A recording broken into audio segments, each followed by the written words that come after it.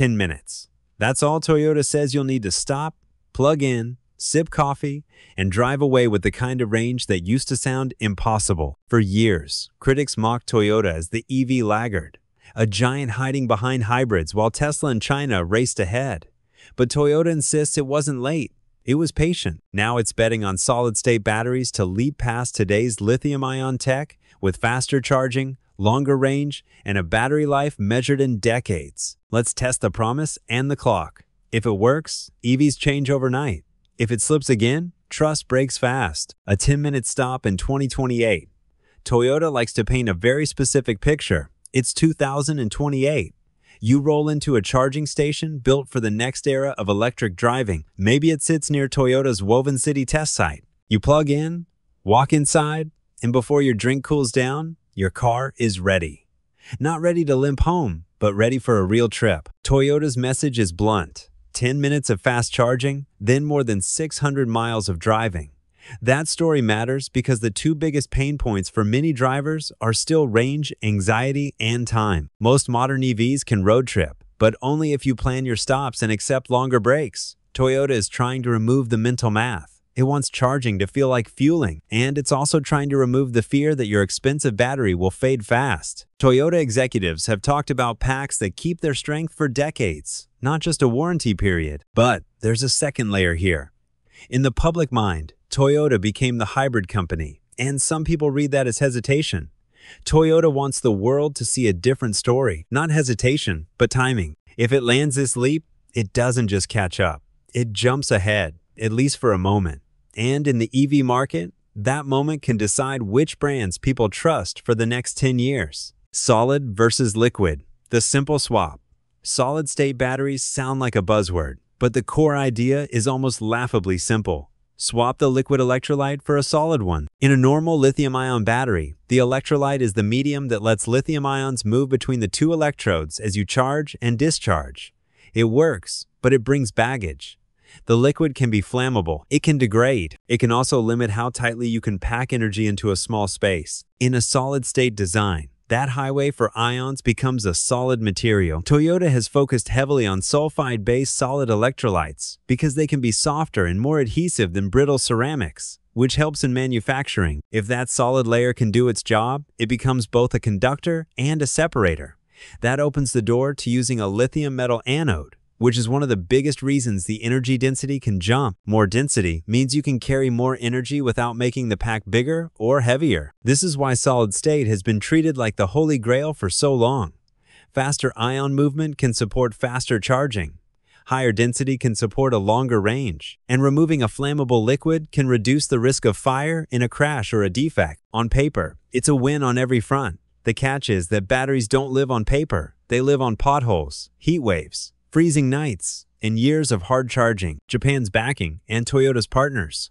Toyota isn't trying to pull this off alone, and that's a big clue that the company is thinking about factories, not just lab demos. Japan's Ministry of Economy, Trade, and Industry has certified Toyota's next-generation battery development and production plan under a policy tied to the Economic Security Promotion Act. In plain terms, Japan wants a stronger domestic battery supply chain, and it is willing to support it. Two partnerships sit at the center of Toyota's solid-state story. First is Sumitomo Metal Mining, which is working with Toyota on cathode materials designed to resist degradation over repeated charge and discharge cycles. Sumitomo has said it aims for mass production of these materials around Japan's fiscal year 2028, with Toyota as a priority customer. The second is Idemitsu Kosan, an energy company that teamed with Toyota to develop mass production methods for solid electrolytes and to build a real supply chain. Idemitsu has also announced plans to build capacity for lithium sulfide, a key ingredient for sulfide solid electrolytes. Put those together and you see the plan. Lock down the hard parts of the bill of materials before the first high-profile launch. It's also a national strategy. China and South Korea have dominated much of the battery world. Japan wants back in, and Toyota is the spear tip. The performance claims explained. Now for the numbers that make people raise an eyebrow. Toyota has talked about ranges around 1,000 kilometers, about 621 miles, and charging from 10% to 80% in roughly 10 minutes for its first all-solid-state EVs.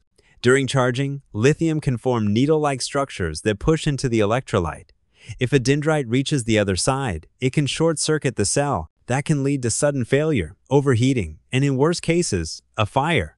Solid electrolytes were supposed to block dendrites, but in real cells, stresses and imperfect contact can still let them form. Toyota and Idemitsu have said their breakthrough is a solid electrolyte that is flexible, adhesive, and resistant to cracking. That sounds like marketing, but it points to a real material science challenge. You need the electrolyte to stay in intimate contact with the electrodes, cycle after cycle, without gaps opening up. Even if you solve that, you still face manufacturing. You need high yield, low cost, and consistent quality at a massive scale. A battery that works in a lab pouch cell is not the same as a battery you can stamp out by the millions. This is why every deadline slip matters. The hard part is not making one impressive cell. The hard part is making a million of them safely, cheaply, and the same. Roadmap, rivals, and the deadline question. Toyota's solid-state plan sits on top of a broader battery roadmap before the full solid-state leap. Toyota has described a sequence of next-generation packs, including cost-focused lithium iron phosphate options and higher performance chemistries meant to raise range and cut cost in the mid to late 2020 seconds. The logic is simple.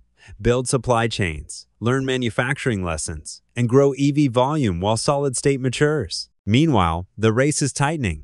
Mercedes-Benz has shown real-world testing with solid-state prototypes, and has spoken publicly about long-range runs. Nissan says it has a pilot line and targets the late 2020 seconds. Honda is also pushing its own path.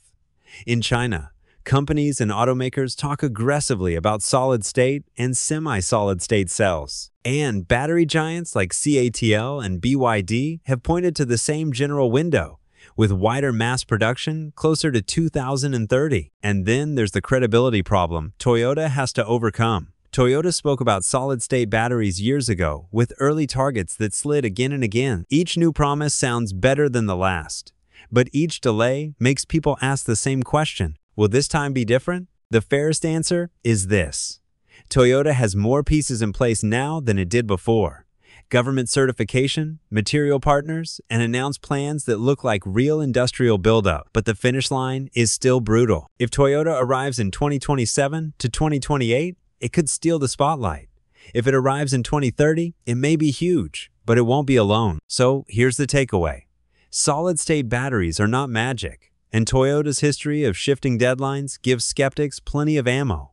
But the pieces are finally lining up. Government support in Japan, a cathode push with Sumitomo Metal Mining, and a solid electrolyte supply chain with Idemitsu. If Toyota hits 2027 to 2028, you may see EVs that charge in minutes, drive farther, and worry less about fires and aging packs.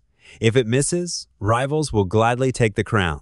Either way, the next few years will decide who wins. Watch pilot lines, early cars, and real-world test results, not glossy promises alone.